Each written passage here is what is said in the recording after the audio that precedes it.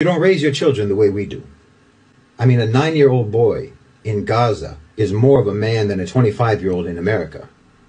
You prolong adolescence to an absurd degree. You don't prioritize maturity.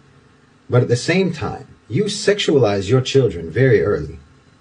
I mean, you've got like third graders twerking, you know, and singing explicit song lyrics, and then you put that on social media for everyone to see. You're teaching kindergartners about sex, masturbation, about homosexuality and transgenderism. You think that prepubescent children can decide to have their genitals removed before they even know what they're actually for. You put little girls in beauty contests and try to turn them into, you know, miniature Beyoncés and Cardi B's singing about WAP. 12% of 12 uh, year olds in the US are already sexually active at 12. And that's from a study 10 years ago.